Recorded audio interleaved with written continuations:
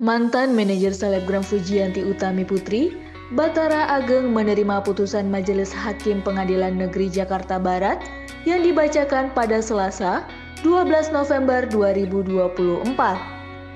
Batara mengaku tak akan mengajukan banding atas putusan dua setengah tahun penjara.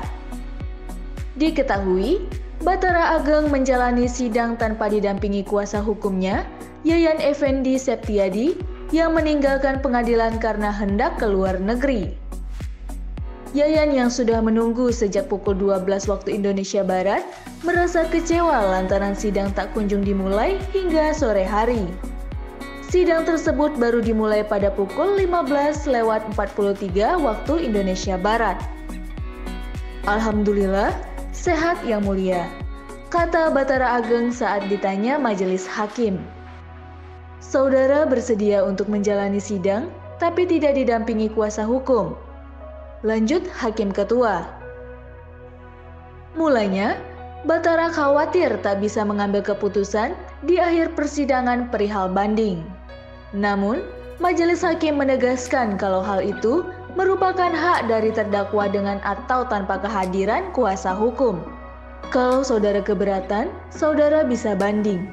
Kalau bersedia, ya kita bicarakan tanpa ada kuasa hukum. Tapi kalau keberatan, kita tunda, yaitu hak saudara. Bagaimana? Ucap hakim. Baik yang mulia, jawab terdakwa. Hakim lalu membacakan kronologi penggelapan dana yang dilakukan Batara terhadap Fuji. Mulai dari ba salah. Mulai dari kapan ia bekerja sebagai manajer hingga pembahasan total kerugian Fuji yang ditaksir mencapai 1,3 miliar rupiah. Atas perbuatannya, Batara lalu difonis dengan hukuman dua setengah tahun penjara sebagaimana diatur dalam pasal 372 dan 374 terkait penggelapan dana melalui hubungan kerja.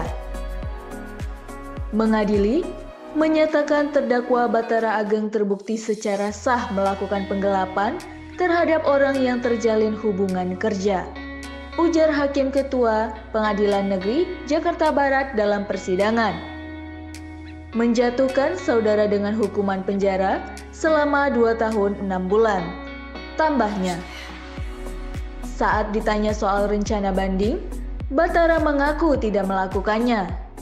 Dia menerima putusan hakim untuk menjalani hukuman yang dijatuhkan. Saya menerima putusan yang mulia, tandasnya. Fuji datang bersama kakaknya, Fadli Faisal dan kuasa hukumnya Sandi Arifin. Fuji tiba di Pengadilan Negeri Jakarta Barat sekitar pukul 13 lewat 34 waktu Indonesia Barat dengan mobil Alphard putih. Ia dan rombongannya memutuskan untuk menunggu di mobil karena sidang yang dijadwalkan mulai pukul 13.00 waktu Indonesia Barat tersebut belum dimulai. Selain pihak dari Fuji, ibu dari Batara Ageng juga terlihat hadir untuk mendampingi putranya. Namun, Wanita berkerudung hitam itu enggan memberikan komentar sebelum sidang berlangsung. Sementara itu, ayah Fuji, Haji Faisal, tidak bisa hadir karena menerima kabar duka dari salah satu kerabatnya, seperti yang dijelaskan oleh Sandi Arifin. Nah, gimana nih guys menurut kalian? Jangan lupa tulis tanggapan di kolom komentar ya. See you!